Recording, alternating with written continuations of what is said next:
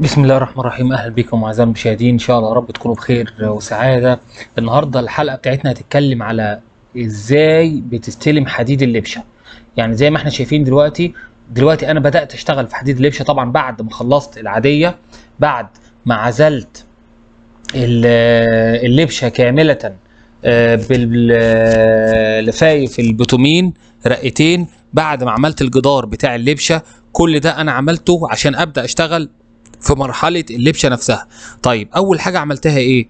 أول حاجة طبعا هي اللبشة عبارة عن شبكتين بتبقى شبكة سفلية وبتبقى شبكة أو شبكة تسليح علوية غير الحديد الإضافي اللي بيتحط فيها. طيب خد بالك اللي فيه بسكوت أو كفر للشبكة السفلية. زي ما إحنا شايفين إحنا حاطينه 7 سم هو بيكون من 5 ل 7 سم حسب التصميم آه، بتاعك.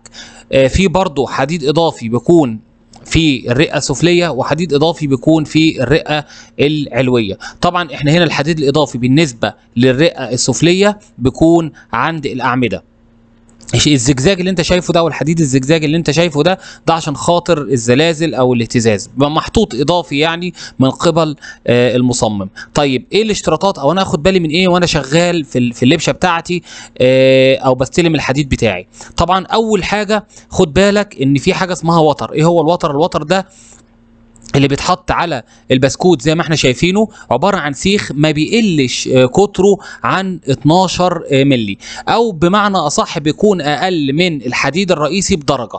يعني لو الحديد عندي 16 يبقى ال- الوتر آه، 12 لو الحديد عندي 18 يبقى الوتر آه، 16 وهكذا. طيب أنا بعد ما بحط الوتر ببدأ بعد كده أحط الرقة السفلية بتاعتي. طبعا بيكون أماكن الوصلات بتاعة الرقة السفلية في وسط البحر. يعني ما بين العمودين اللي بتقدر بتحط ال ال ال اللي هو الوصلة آه، بتاعتك. طبعا عشان أقصى عزوم وما إلى ذلك. طيب أنا بديت أحط أو أرص الحديد التسليح بتاعي.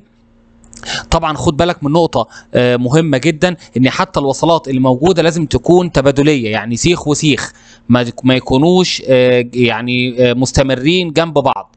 طول الوصلة آه، تقريبا بيكون 65 فاي إلى 1 متر أيهما أكبر. ده طبعا طبقا للكود ال- ال- المصري. خد بالك برضه لو جيت بصيت هنا هتلاقي الكانات كلها مستمرة. يعني أنا حاطط الأشاير بتاعة الأعمدة بتاعتي وحاطط الكانات عشان لما أجي أحط الرقه العلوية بتاعتي؟ يبقى الكنات مستمرة في الأعمدة. لازم تتأكد من الإشارة أو ال- مقاس الاسياخ بتاعة الإشارات بتاعتك والإشارة نفسها ارتفاعها آه، 65 آه بعد اللبشة تمام؟ عشان ما تبقاش قصيرة معاك. لازم تعد بنفسك آه الأعمدة. عمود عمود عشان لو انت نسيت عمود بتبقى مشكلة كبيرة مش هتعرف آه تكسر في لبشة أو هتبقى آه مشكلة آه كبيرة عليك. فخد بالك من النقطة دي جدا. طيب لازم تاخد بالك من المسافات ما بين الأوتار.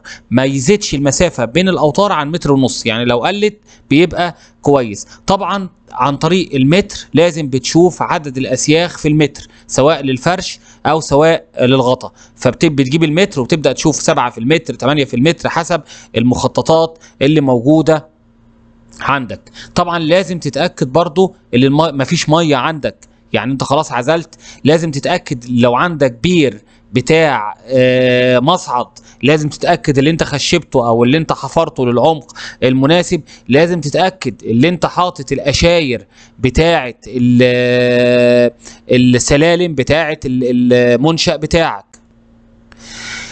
تاخد بالك برضو إن الفرش دايما بيكون في اتجاه ال- العزم الاكتر الأكبر أو بمعنى أصح الفرش بيكون في الاتجاه الكبير. يعني المفروض بتحدد في اللوحة ولو ما تحد ما تحددش في اللوحة بتشوف آه الإضافي الأكبر في اللوحة وبيكون هو اتجاه الفرش بتاعك. لازم برضو تعرف وتحدد الحديد ال- ال- ال- العلوي والحديد السفلي في اللبشة بتاعتك. وطبعا كل سيخ لازم يكون آه، متجنش أو معمول له آه، رجل آه، سواء في الرئه العلوية أو في الرئه السفلية. لازم برضو تتأكد من الحديد الإضافي سواء للفرش وطبعا بيكون في منسوب الفرش ويعني بيكون طبقتين محطوطين على الفرش آه، بتاعك. فخد بالك من الحديد الإضافي سواء حديد علوي أو حديد سفلي. الحديد العلوي بيكون في منتصف ال- ال- ال- البحر عندك إما تيجي تعمل الرقة العلوية. آه، في نوعين من الكراسي يعني ال- الكرسي بتاع ال- ال- اللبشة في نوعين منه. في كراسي بتكون زي ما إحنا شايفين بتكون تباعدية وبتبدأ بتحط عليها الوتر وفي كراسي بتكون متلاصقه طبعا انت ما بتيجي تاخد بالك وانت بتسعر أو انت شغال تاخد بالك قوي من التفاصيل دي عشان هتفرق معاك آه، في ال- في السعر. طبعا الكرسي تقريبا أو بتوزع الكراسي تقريبا على مساحة 55% من مساحة آه، اللبشة. وزي ما قلنا برضو نهايات كل الأسياخ لازم تكون آه، برجل. فتاخد بالك قوي من النقطة دي.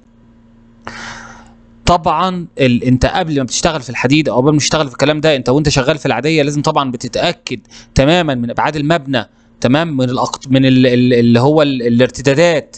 آه، كل الكلام ده تاخد بالك منه. الكفر الخرساني زي ما إحنا قلنا آه، سواء علوي أو سواء سفلي ما يقلش من 5 ل 7 سم حسب ال... ال... ال... آه، المكتب الاستشاري أو حسب ال...